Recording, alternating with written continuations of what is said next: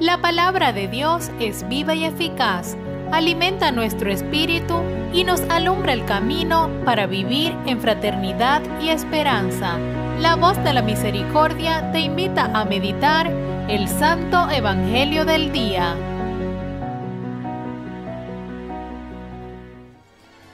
En el nombre del Padre y del Hijo y del Espíritu Santo. Amén.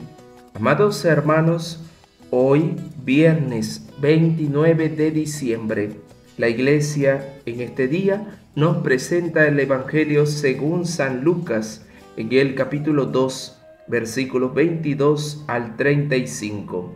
Transcurrido el tiempo de la purificación de María, según la ley de Moisés, ella y José llevaron al niño a Jerusalén para presentarlo al Señor, de acuerdo con lo escrito en la ley. Todo primogénito varón será consagrado al Señor y también para ofrecer, como dice la ley, un par de tórtolas o dos pichones. Vivía en Jerusalén un hombre llamado Simeón, varón justo y temeroso de Dios, que aguardaba el consuelo de Israel.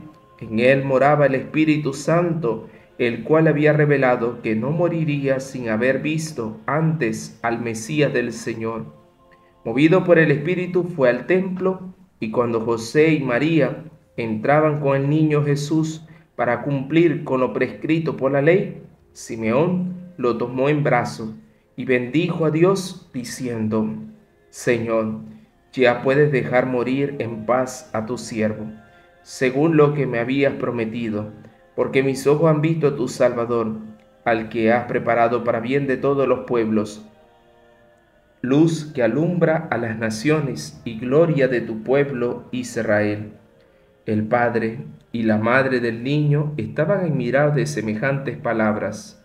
Simeón los bendijo y a María, la madre de Jesús, le anunció, este niño ha sido puesto para ruina y resurgimiento de muchos en Israel como signo que provocará contradicción, para que queden al descubierto los pensamientos de todos los corazones, y a ti una espada te atravesará el alma. Palabra del Señor. Gloria a ti, Señor Jesús.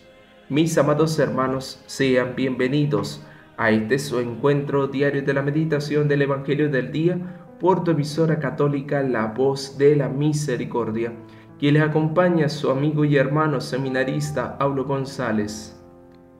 El Evangelio en este día nos narra las costumbres del pueblo judío y cómo podemos descubrir a Dios en los aconteceres sencillos de la vida diaria. Los ojos de Simeón vivían fijados en el Señor, seguramente muchas realidades afrontadas, pero su corazón confía y aguarda el consuelo en Dios Así debemos ser nosotros, no desfallecer ni perder la esperanza, sino fijemos la mirada siempre en Cristo. Vayamos con alegría a la casa de Dios y encontrémonos con Él, allí donde nos espera para servirnos la mesa del amor que es la Eucaristía. Vivamos en la luz, no en las tinieblas. La presencia de Dios en lo cotidiano nos da la vida y la vida en abundancia. Dios nos da siempre más. Continúa en compañía del amor de Dios.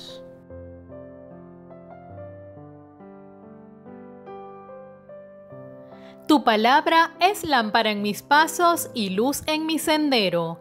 La voz de la misericordia 94.9 FM presentó el Santo Evangelio del Día.